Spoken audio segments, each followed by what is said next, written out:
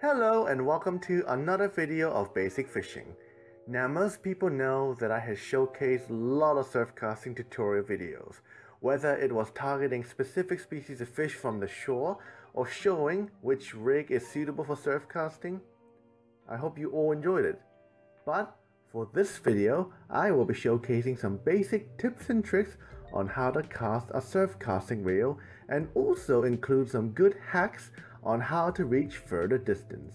Hope this will help some anglers out there who are struggling and hope you learn a thing or two on how to cast the rod properly and how to achieve further casts. Hey everyone and welcome to my first ever ad video. If anyone is interested in getting the same rod I have been showcasing, my sponsor, Balzer, has good news for everyone who are keen.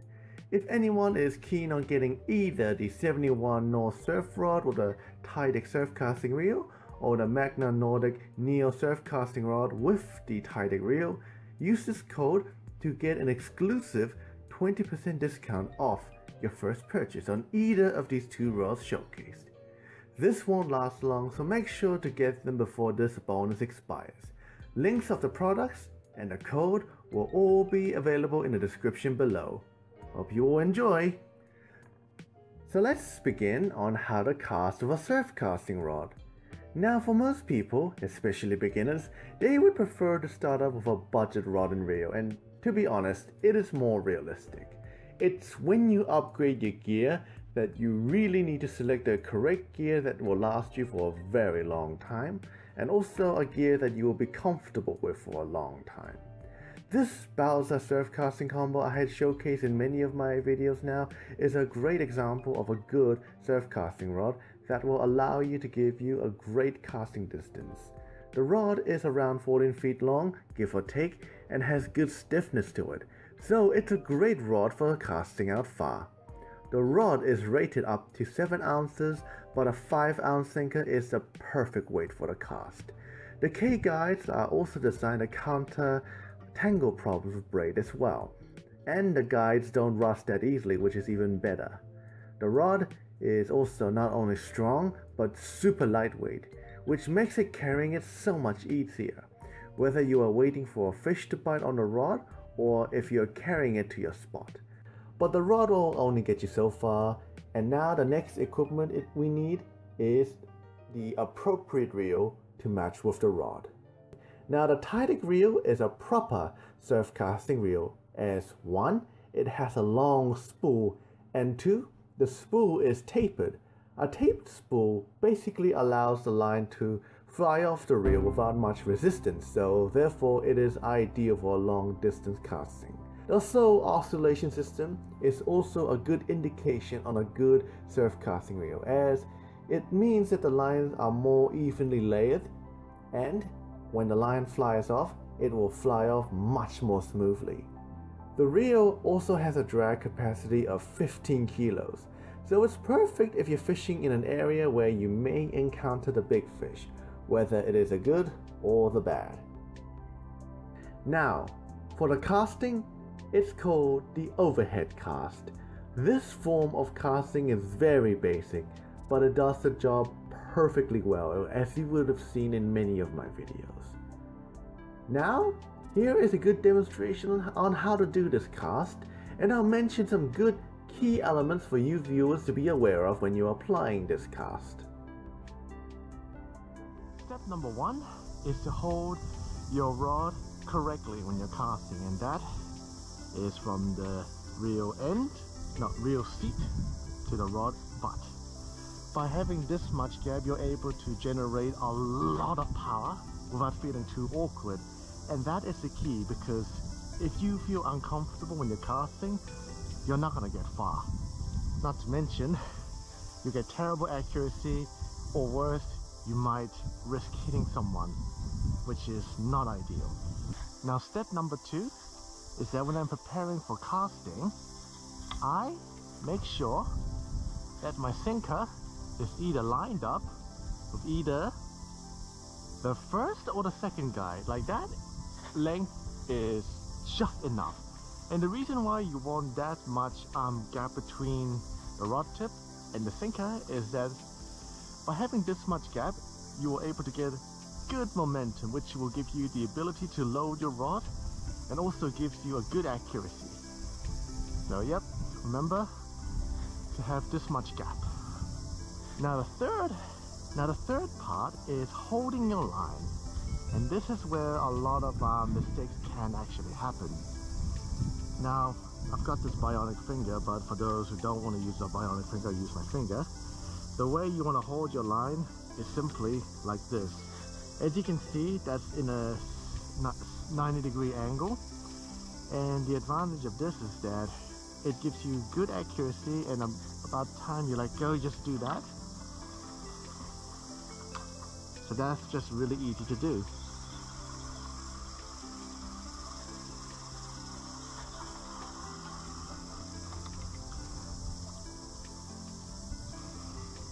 Now I've seen a lot of people do a lot of mistakes like holding their lines like this. That is an absolute no-no because as you can see, that line can easily slip out and if that happens, you're going to be in a lot of trouble.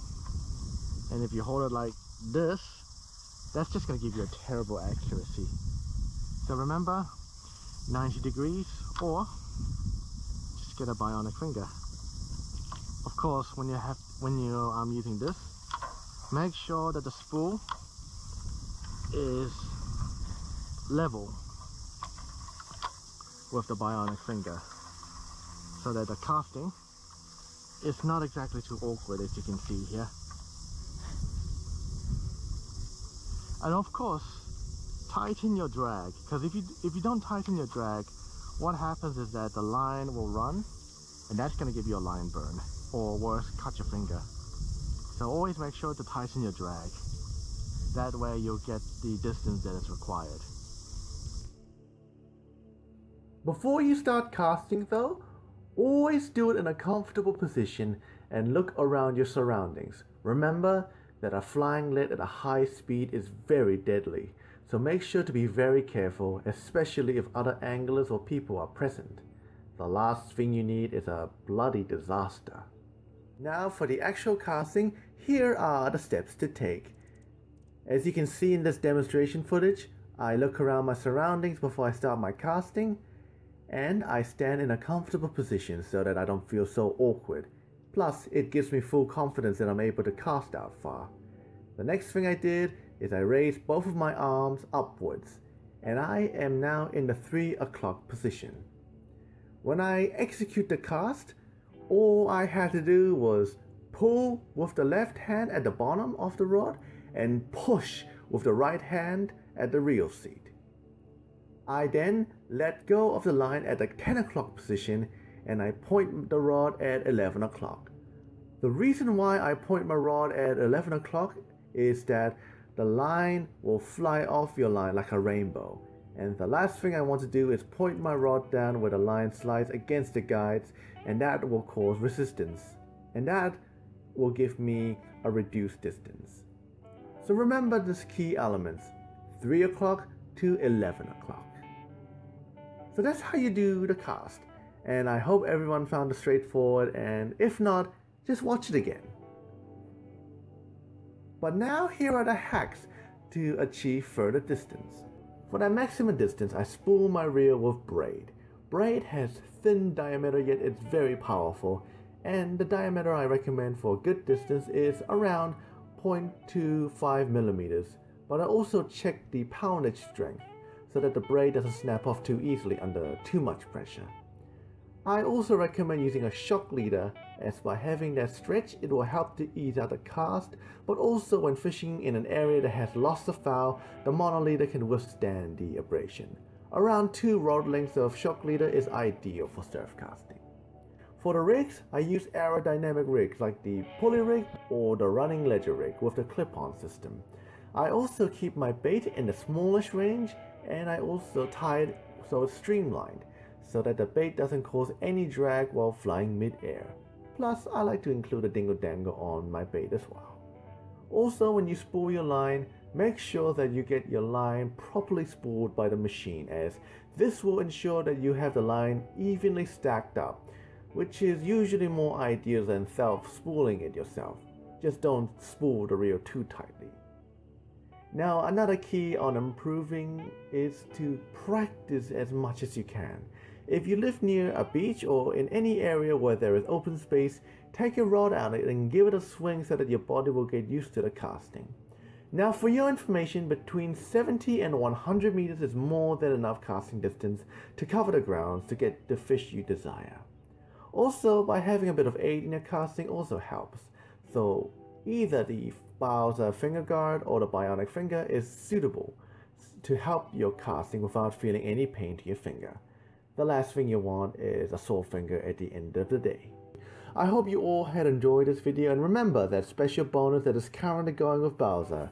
For more information, check out the description and the comment section below and hope you'll learn some good tips and tricks on how to cast and how to improve it. Again, thank you for watching and hope to see you all next time and hope you all enjoy my new upcoming videos.